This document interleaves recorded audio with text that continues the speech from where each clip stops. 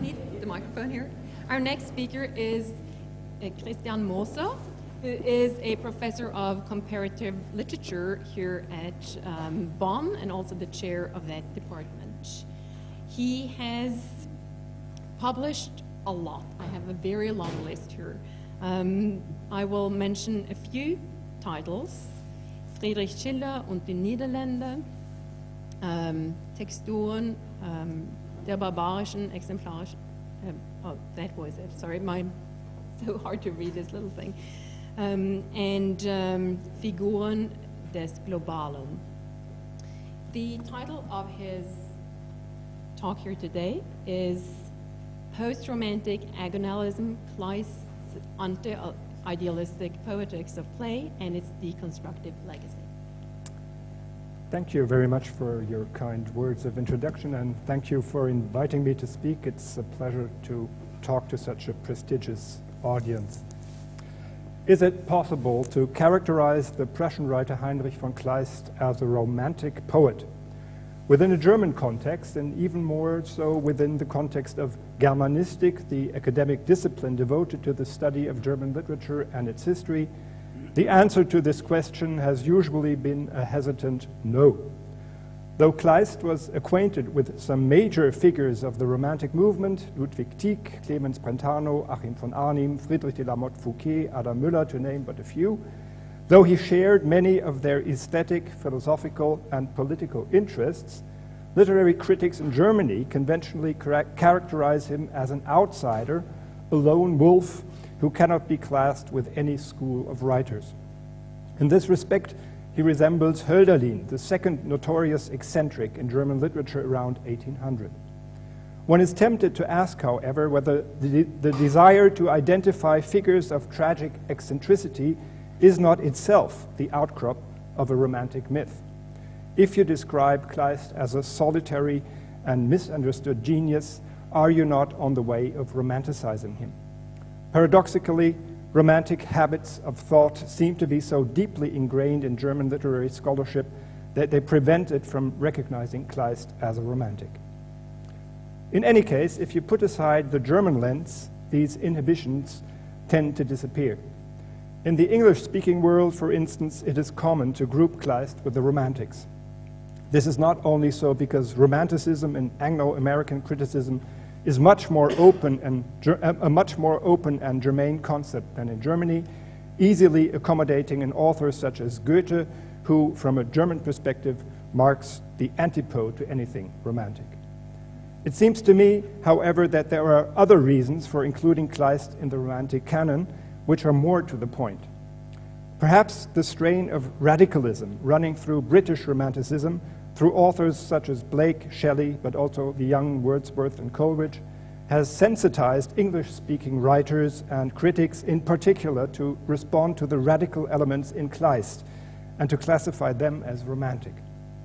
For example, it is certainly no accident that deconstruction, um, that Kleist is a favorite among the more radical thinkers of the American branch of deconstruction in their attempt to reverse the damnatory verdict passed upon Romanticism by the new critics and to do justice to the complexities of Romantic writing, they frequently refer to certain key figures which are considered to be representative Romantics. Kleist is among the foremost of them.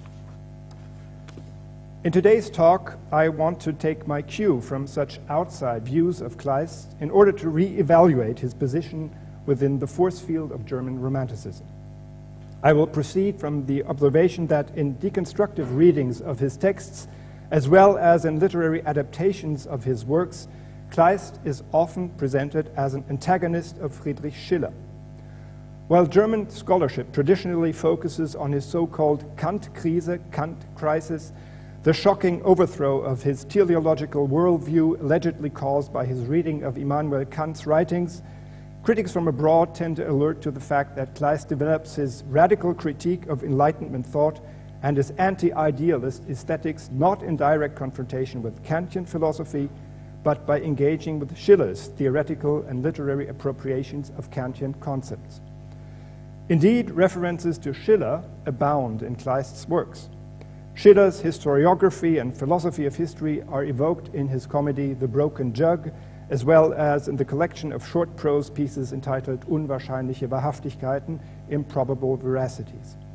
Schiller's political views on the French Revolution, particularly his concept of a Brüderbund, a fraternal covenant, which feed into his drama Wilhelm Tell, are countered by Kleist's uncanny vision of an Amazon Schwesternbund put to the test in his tragedy Penthesilea.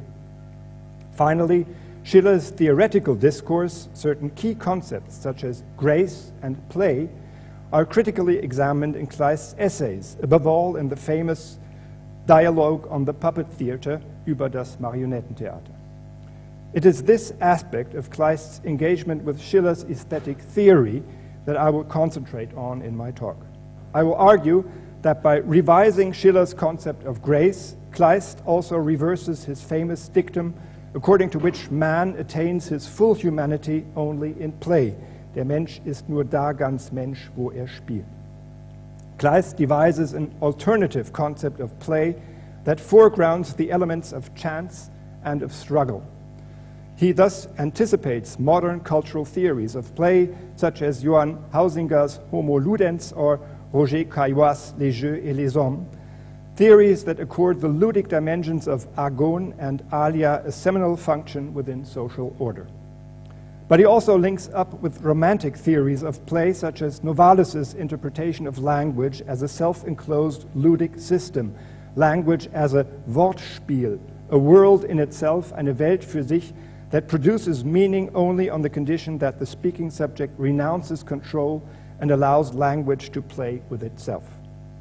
Moreover, Schiller and Kleist do not just represent divergent theoretical positions, they also stand for contrasting modes of theorizing.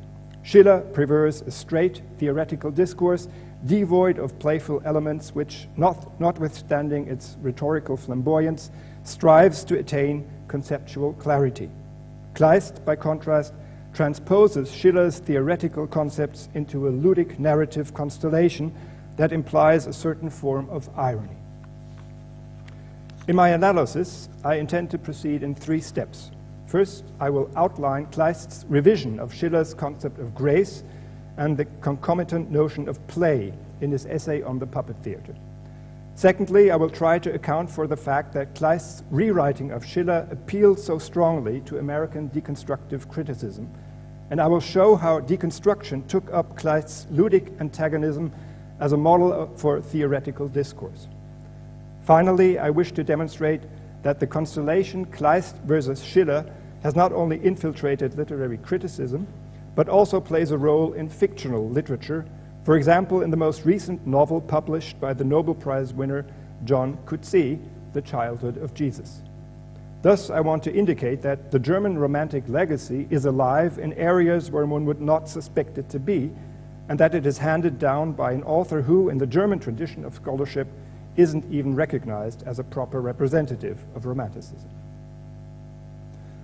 Kleist's famous essay on the puppet theater über das Marionettentheater, published in 1810, can be read as a response to Schiller's treatise über Anmut und Würde on Grace and Dignity, written in 1793.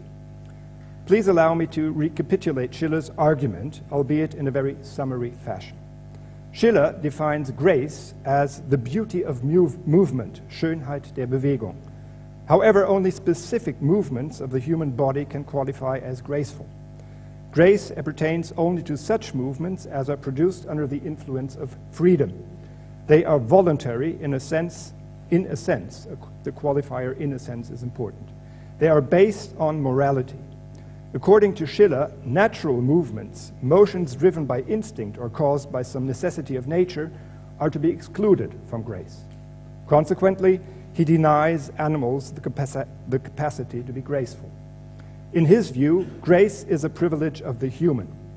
Insofar as graceful movements are not instinctive, they partake of the sphere of freedom and volition. At the same time, however, grace requires a certain involuntariness. Graceful movements are both voluntary and involuntary. They express moral sentiment, but they must never be produced with the intention of doing so. Rather, they betray the subject's acquired morality as if by coincidence. graceful movements serve no communicative or pragmatic purpose. Therefore, they belong to the sphere of play. As an involuntary movement, grace gives morality the appearance of nature. It expresses a morality that has become second nature. The graceful subject executes its moral actions with the greatest ease as if they were the product of instinct, mit einer Leichtigkeit, als wenn bloß der Instinkt handelte. In the graceful subject, the sensuous and the rational, the natural and the moral faculties of man act in harmonious accord. As Schiller puts it with reference to Kant, they interact in the manner of free play. Thus, grace marks the fullest realization of humanity, a state in which neither reason is dominated by the senses, nor the senses are subjugated to reason, but both are given their full due. It is important to note that this state is not a state of nature, but a state produced by education. Therefore, on Schillerian premises, small children cannot be graceful. By an aesthetic education that takes care not to develop reason at the cost of repressing the senses. Thus, from Schiller's point of view, grace is not contingent, even though it appears to be so. It is man-made attribute of man. In his essay on the puppet theater, Kleist launches a severe attack against Schiller's concept of grace. The essay takes the form of a dialogue between the narrator and a certain Herr C., a professional dancer and thus an expert in grace.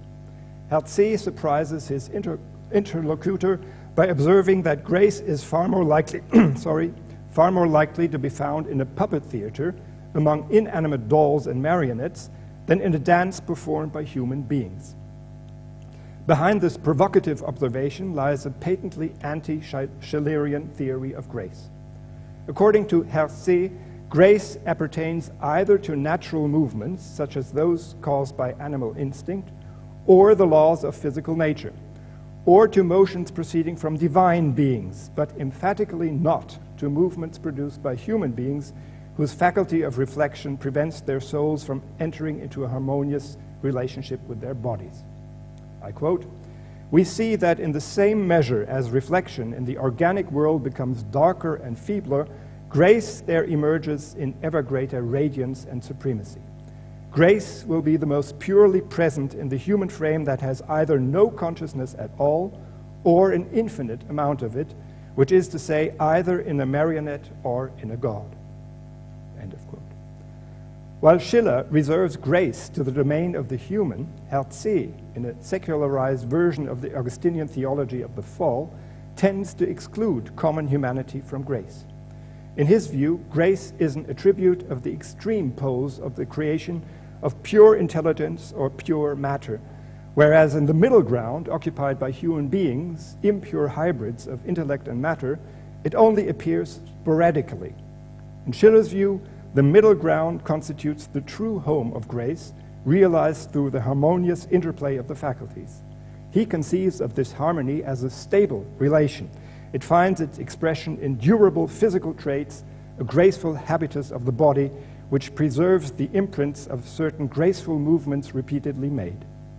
According to Herr C., by contrast, the concordance of the faculties that is productive of grace rarely occurs in humans, and if so, only by accident and temporarily, without solidifying into a stable relation.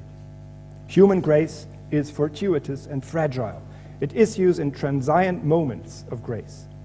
Kleist's narrator cites the example of a young man who, coincidentally casting a look into the mirror, catches a glimpse of himself in a graceful posture, but fails to reproduce it, however much he strives to do so. In Schiller, grace appears as if by coincidence. In Kleist, its appearance, its appearance is a product of coincidence, though the subject can tragically mistake its accidental appearance for an essence.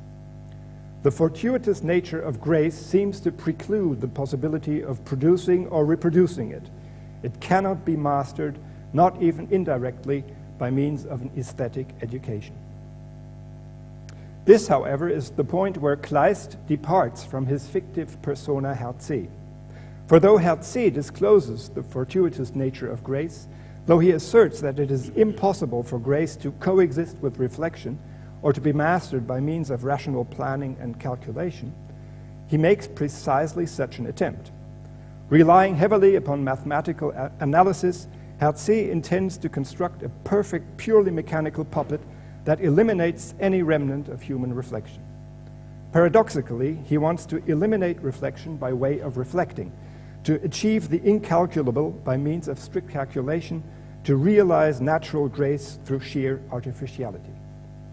Kleist's text exposes this paradox not only by pointing to contradictions in Herr C.'s argument, his insistence on the incalculable contingency of grace on the one hand, his confidence in the power of rational calculation on the other, but also through the discrepancy between its discursive and its narrative components.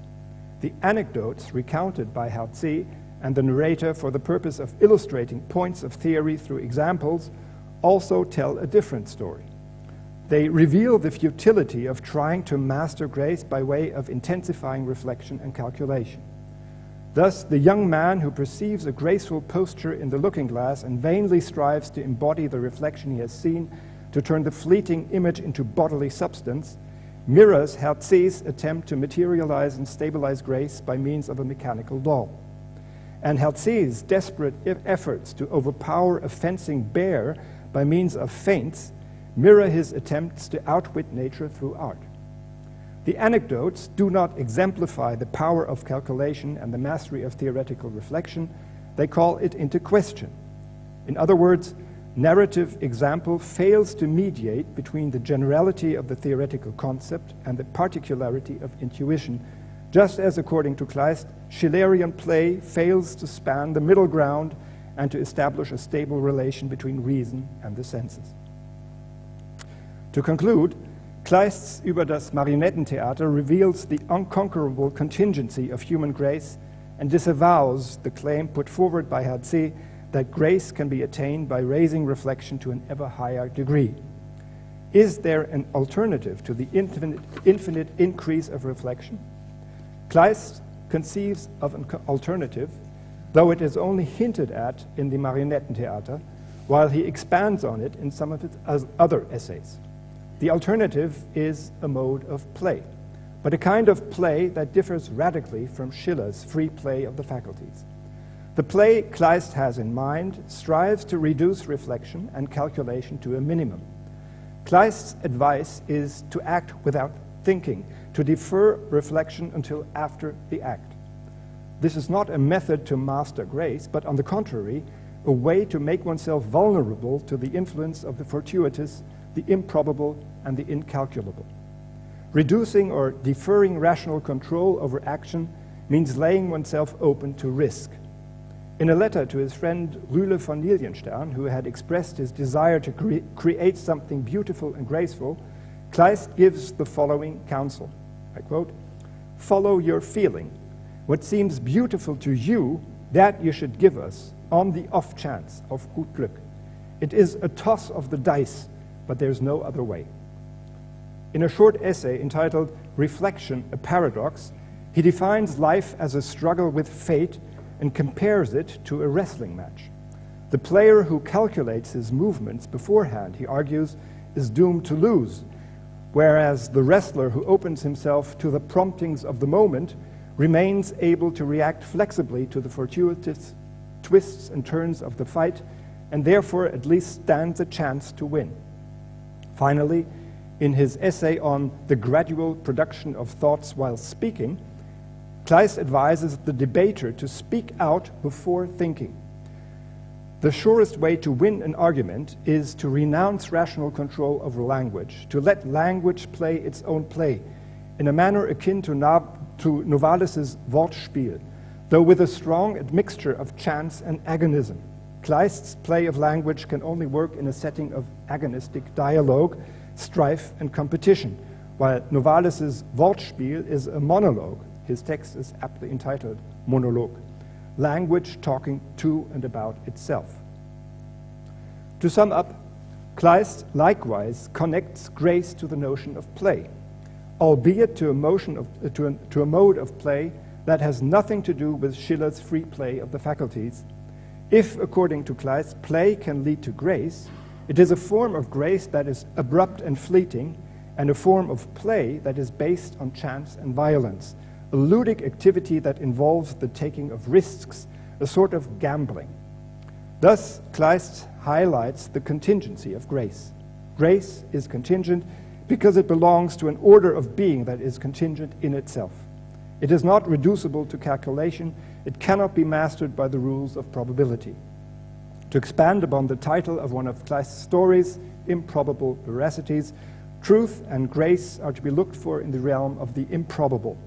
They are not a matter of careful calculation, but a matter of gambling, of daring to place one's stake on an improbable number. As I said at the beginning of my talk, Kleist is a favorite among post-structuralist thinkers. In France, Gilles Deleuze and Félix Guattari have identified Kleist as an author who exemplifies what they call nomadic thinking. In the United States, the most prominent rep representatives of deconstructive criticism, Paul de Man, J. Hillis Miller, Carol Jacobs, Werner Hamacher, to name but a few, have written extensively on Kleist regarding him not just as a producer of literary texts, but as a thinker who engages in a certain demanding mode of theoretical écriture. Significantly, both French and American critics placed Kleist in a context of strife and contest. Deleuze and Guattari emphasize his struggle with Goethe, while the American critics focus on his confrontation with Schiller. In their view, Kleist performs performs the kind of ludic antagonism he talks about in his theoretical discourse, which can never be abstracted from its narrative setting. But what is the antagonism about? According to Paul de Man, its ultimate object is Kant's critique of judgment. As he sees it, Schiller fatally misreads Kant when supposing that aesthetic categories, such as grace and play, are apt to mediate between pure and practical reason and can therefore be employed as key elements of an aesthetic education.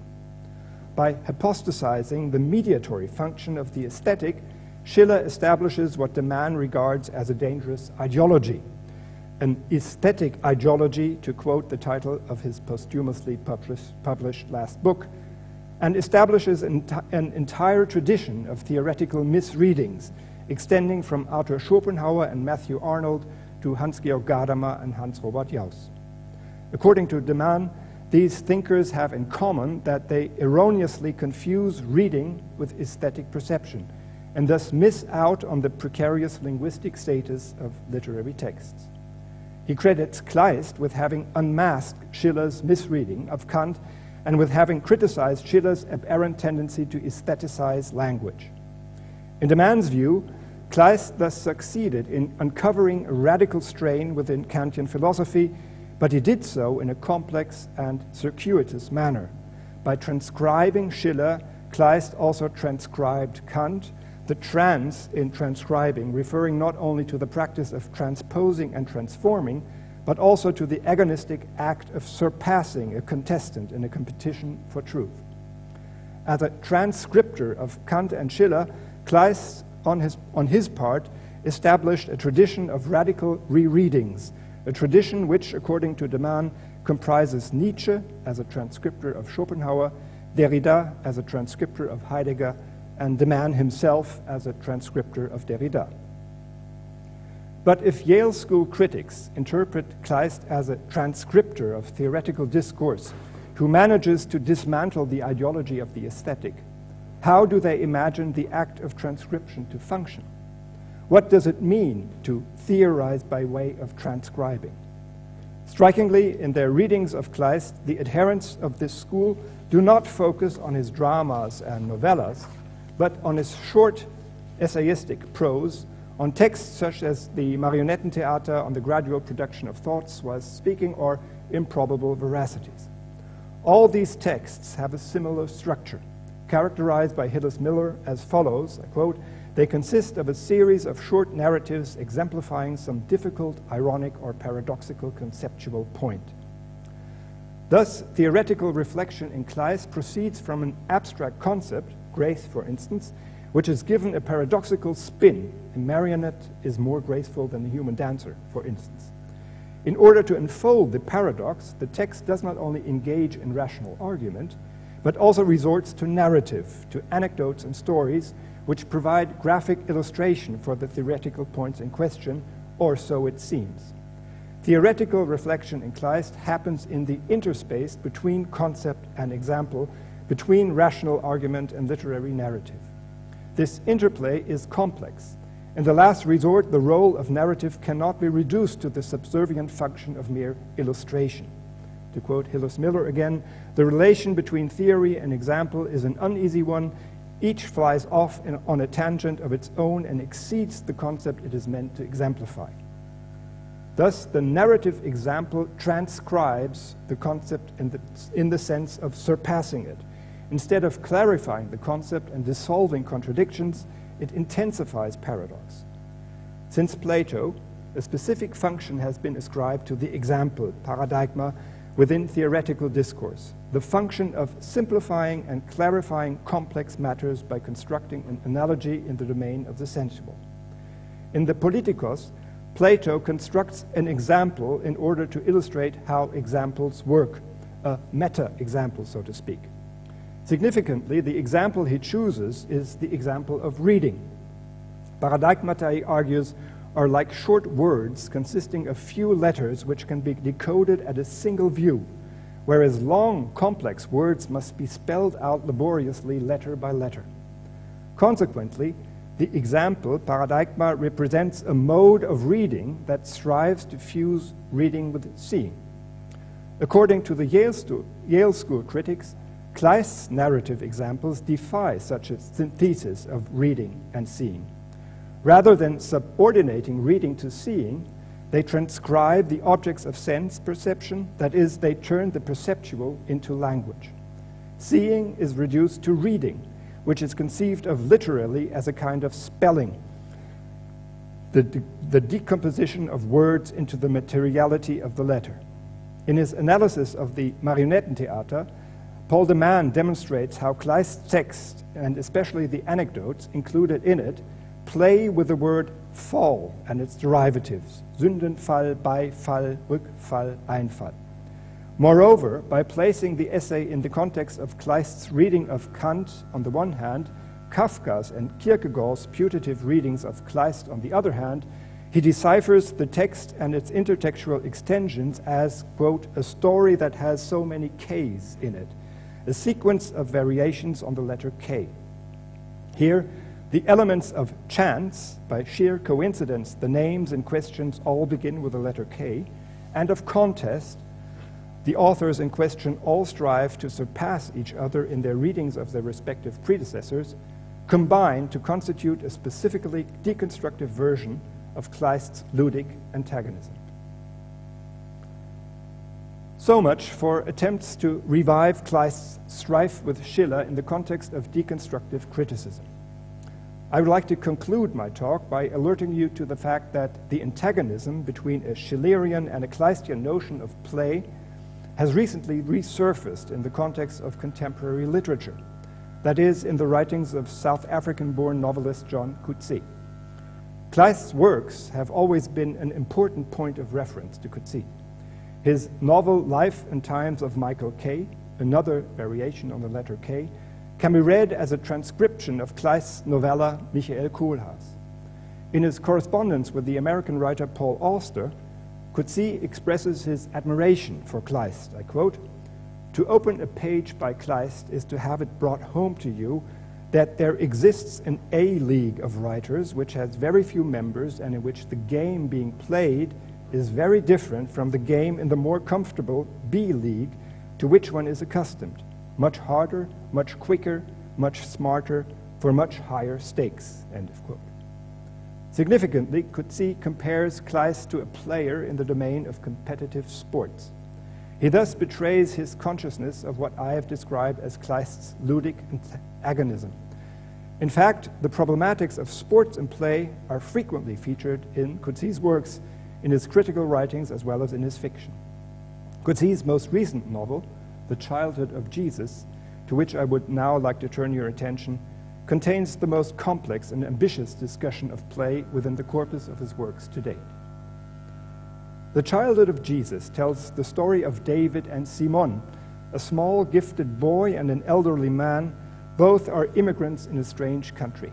Simon has taken it upon him to look after David, who has lost his mother. While searching for the mother, they strive to integrate in the, into the society of their host country. Arbitrarily, it seems, Simon appoints Ines, a woman met by chance, to be David's mother. Miraculously, she accepts his choice, but the three find it difficult to settle down in a country that is increasingly experienced as hostile. In my interpretation of the text, Coetzee plays out a Kleistian against a Schillerian conception of grace and explores its potential for social bonding.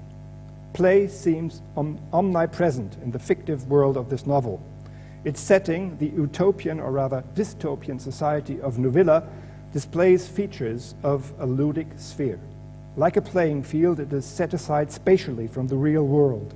It also pertains to a different time order. Life in Novilla has a circular structure. It proceeds outside linear history. Its inhabitants, who possess goodwill but lack passion and desire, do not seem to be fully human. They resemble play figures in a board game. Moreover, they have no memories and no past. They live in the present moment like players who are oblivious of everything outside the fictive world of the game. The term illusion, Huizinga reminds us, derives from the Latin in illusio, being inside the game. The society of Novilla is governed by rules, but they are not felt to be oppressive. They are readily embraced like rules of a game. However, if life in Novilla resembles a game, it is a game without suspense, a play that entails no risk. A further element of this society seems to jar with its ludic character. It requires its members to work. Simon, who as a newcomer finds it difficult to adapt to life in Novilla, remarks on the peculiar nature of this work the work he and his comrades perform in the docks, for example. Labor in Novilla is unnecessarily hard, and it seems to serve no higher purpose. Thus, there is no use for the huge amounts of grain unloaded by the dockers. Most of it is eaten by rats, and the inhabitants of Novilla have small, if not ascetic, appetites. When Simon discusses the matter with his colleagues, they justify the work they do by referring to its social function. Quote, without labor and the sharing of labor, comradeship is not possible. Simon is not convinced by the argument. If comradely love is the ultimate good, he replies, why do we need to move these heavy bags of grain? Why not just kick a football? Simon thus points to the ludic structure of his host country's society. Like play, work in the villa is an end in itself. Apart from joining the laborers together in an egalitarian community, it serves no pragmatic purpose. But if labor is like play, why labor at all? Why not play in the first place? Significantly, Simon's colleagues are irritated by this line of thought. He seems to have touched a sensitive spot. They refuse to accept the fact that their work is like play. A community based on mere play, they argue, is no longer substantial. Furthermore, without labor, they would lose touch with the thing itself. They would suffer alienation from the substantial truth of physical reality. It appears, therefore, that the society of Novilla possesses a thoroughly paradoxical structure. Social, life here takes the form of play, but in order to fill this empty form, to give it some real substance, it must be fused with its opposite, hard physical labor. Or to put it otherwise, in order to lighten the heaviness of labor, it is given the form of play, but this form must not be disclosed to the laborers, lest they realize its autotelic emptiness. The people of Novilla are players in a game without knowing that they play. According to Huizinga, the common attitude of the player comprises both belief in the reality of the fictive world he has entered and simultaneous disbelief, being both inside and outside the artificial sphere of play at the same time. This double consciousness is akin to irony, which, as Simon quickly realizes, is totally absent from Novilla. The people of Novilla are naive players. They are part of an artificial machinery that parades as nature and which they mistake as such. The physical concreteness of their labor is, uh, to use Simon's expression, a mere pageantry. Their play, though art, has the appearance of nature this is exactly what Schiller defines as grace. It is one of the many ironies of Coetzee's novel that it presents sturdy stevedores as paradigms of Schillerian grace. Sure footedly and nimbly, they carry heavy loads across a narrow plank. It comes as no surprise that Simon, who sees through the texture of Nevillan society, suffers a fall from this very plank. To conclude, Novilla can be interpreted as a parody of Schiller's aesthetic state.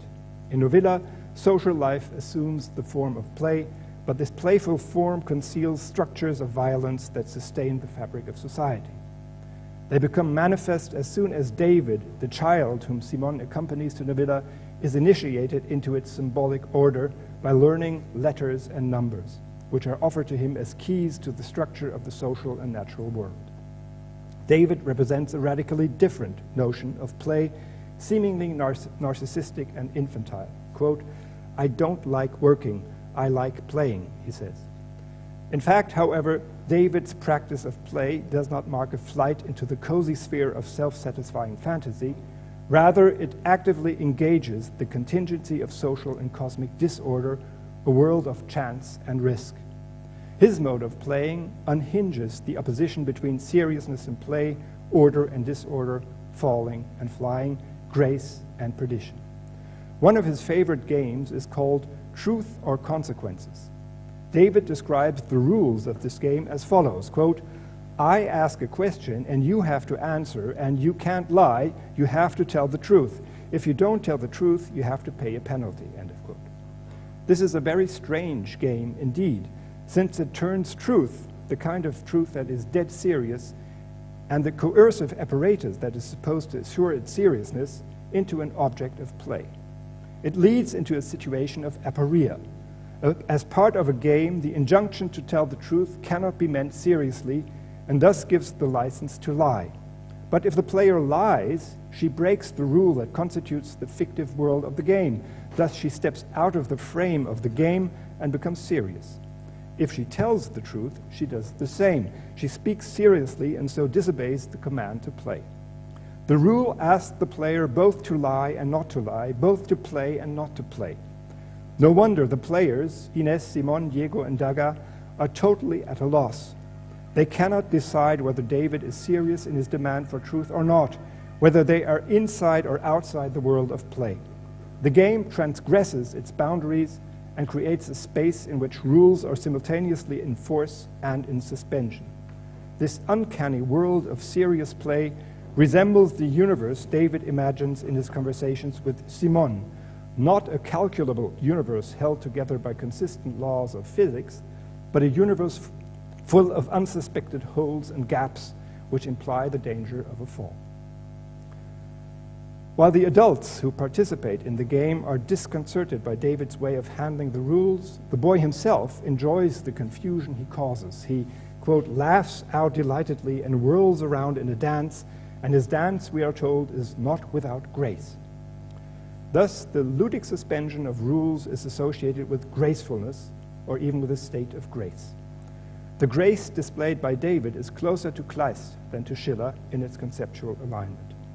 This can be inferred from an episode in the childhood of Jesus that restages and revises a famous anecdote narrated within the framework of Kleist's Marionettentheater, the anecdote of the fencing bear. The episode goes as follows David witnesses a scene of violence in the docks. After a week's hard work, Daga, another novice in Novilla, expresses his dissatisfaction with the pay and provokes a brawl with Alvaro, the foreman, in the course of which the latter is injured by a knife. Surprisingly, David, who has befriended the foreman, takes sides with the aggressor and reproaches Alvaro with having entered into the fight. Simon tries to explain that Alvaro is not to blame because he only tried to protect himself. But David persists in an unconditional rejection of any form of violence.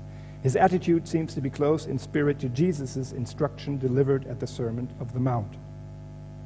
Simon regards David's stubbornness as a challenge to his role as mentor and educator. He wants to teach the boy a lesson about human nature, about the indomitability of natural instincts, such as the instinct of self preservation.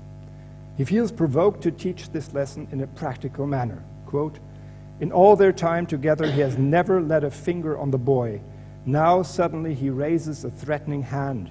The boy does not bat an eyelid. He to slap. Uh, he feints a slap to his cheek. He does not flinch. End of quote. The scene recalls the story of the fencing bear told by Herr C in Kleist's dialogue on the puppet theater in order to illustrate his thesis that grace originates in natural instinct rather than in a reflection. In the grotesque fencing match between Herr C and the bear, the bear proves to be an unbeatable contestant. Quote, Not only did the bear, like the foremost fencer in the world, parry all my thrusts, when I feinted, he did not even react. Looking me in the eye as though he could read my soul in it, he stood with his paw lifted in readiness, and when my thrusts were not seriously intended, he did not move. End of quote. Both Herr C and Simon fail in their attempts to overcome their opponents by feigning a stroke. But they fail for different reasons. Kleist's bear is not aggressive. He never attacks Herr C, but only reacts when seriously assailed by the fencer. All his actions spring from the instinct of self preservation, and this instinct proves to be infallible. David, by contrast, has mastered his instinct, or so it seems. For in closer inspection, his reaction proves to be enigmatic. There are two possibilities. Either he does not see through Simon's feint, but takes his stroke to be serious. In this case, he has truly mastered his instinct, and his, and his reaction or non reaction is more than human, an instance of godlike grace, as Herr C would put it. Or he does see through Simon's feint. The boy stares at him piercingly, we are told.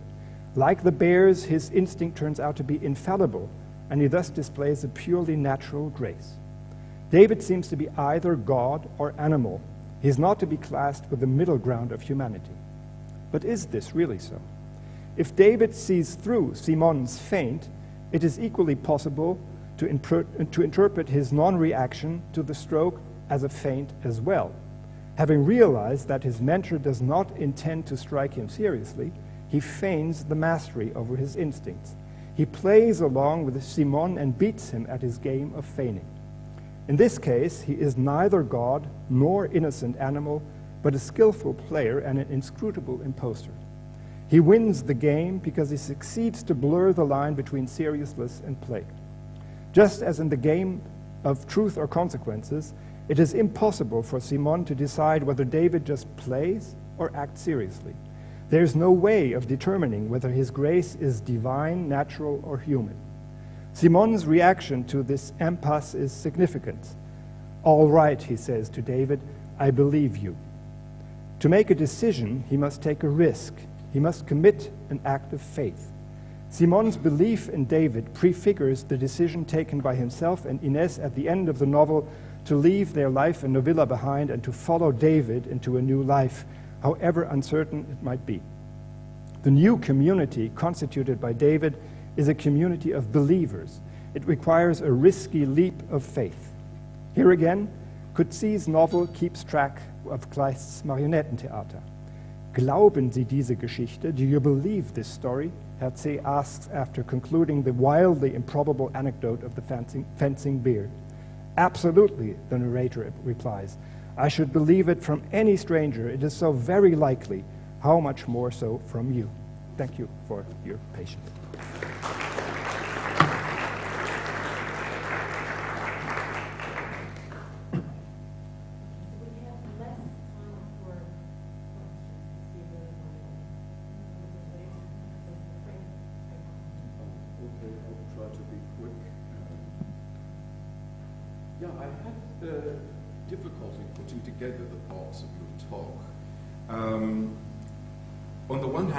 Began by trying to say that you wanted to uh, understand Kleist as a romantic, and uh, I greatly applaud that intention. I, I'm, I'm very sympathetic to it. but then you began on Kleist's relationship to Schiller, and there's a, there's a suppressed premise in your argument. And I mean, the suppressed premise is that in some way, Schiller seems to be a classicist, and Kleist, as his critic, is therefore a romantic. But you know, that, that is a premise that people have questioned. And I, I don't believe they're questioning, but anyway, some people will like to say Schiller is himself a romantic, in which case, if they, so you have to parry that thrust. If you don't, your whole thesis tumbles down. And I think that's very important. And it, it's not as if Schiller just is an interpretation of Kant, and an interpreter of Kant, the way in which uh, de Man understands him. He is much more than that. Schiller never understood himself as just interpreting Kant. He knew he was going beyond him. So there's more to it than just, well, Schiller's a Kantian, therefore he's a classicist and an enlightenment guy. There's a, there's a long tradition of interpreting Schiller as a romantic. I'm not, again, I'm not sympathetic to it, but that seems to me to be an important part of your argument, which you need to explain a bit more. Maybe you could do that now. well, um, the thing is, uh, Kleist uh, thoroughly, thoroughly read Schiller. Um, so, thoroughly, thoroughly, really he's a very close reader of Schiller. Kleist is a very close reader of Schiller. Um, so um, my, my answer to your to your uh, doubts about my thesis, um, I would say yes, you're right. Um, but what Kleist is doing, he's building up within his concept of of this antagonist ludism. He's he's building up kind of a, a sparring partner and he's looking for a, a partner who's who's um, uh, who, who's kind of a, a, contestant which gets most out of himself. So it's, it's, it, I'm not talking about the real Schiller here, but I'm talking about the fictive persona that Kleist is building up in order to, to set the stage for, for a contest, uh, which, which allows him to put into play his, machine, his machinery of, uh, of playing out narrative against theory. Uh, that was probably um, kind of, um, well, uh, a, a, point I didn't highlight enough that I'm not talking about the real Schiller, I'm not talking about the aesthetic education, which is very, I, I love this text, it's, it's complex, and I would agree with you that it's, it's a, a, um, I think it's, it's a good idea to try to read Schiller as a romantic as well. At, at the beginning, I said I, am I'm, I'm uh, sympathetic with uh, the Anglo-American kind of more loose concept of romanticism, which allows to see Schiller or Goethe as romantics as well, and Kleist as well. Um, no, what I wanted to show is that uh, Kleist tried to build up uh, contests, and uh, the deconstructive critics uh, hinged onto that. Uh, or, or, uh, try to make use of that for their own way of theorizing. It's kind of, it's, it's like the machine that Hatzi is trying to, to construct. It's, it's a, a theory machine. And it's a machine that works, um, and, and, you need a kind of a puppet, you need a dummy for it. And Schiller, in this uh, context, is the dummy that uh, Kleist is setting up in order to uh, put on stage his fight, and it's a fight between theoretical discourse and narrative, and he's, he's playing out these. Um, that would be kind of my. Uh, I, mean, I, I, can see that saying is very opposed to what Schiller's doing. Uh, in, in a way, Kleist is engaged, he has his own battle going on there. But there's still then the question is still left about the relationship of this have to romanticism, the, the classification of Kleist as a romantic. I'm still left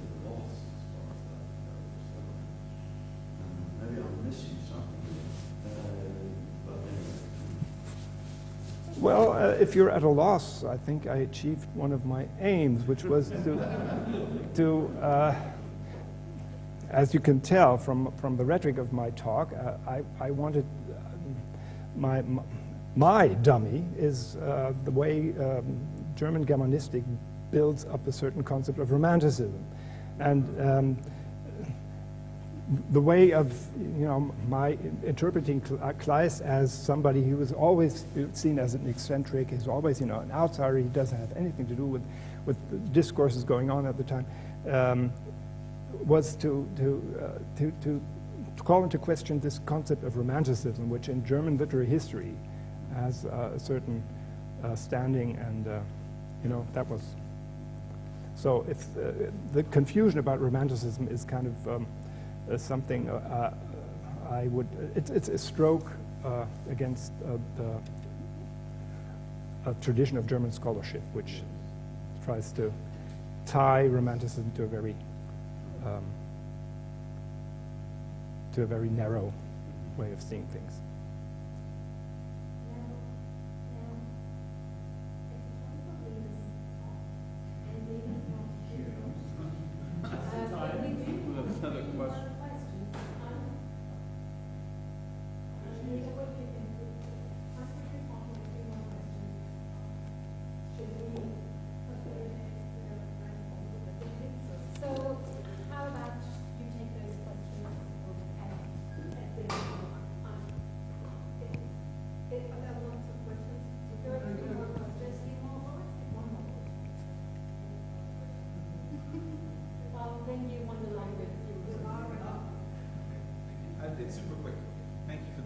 Lucid and, and interesting talk.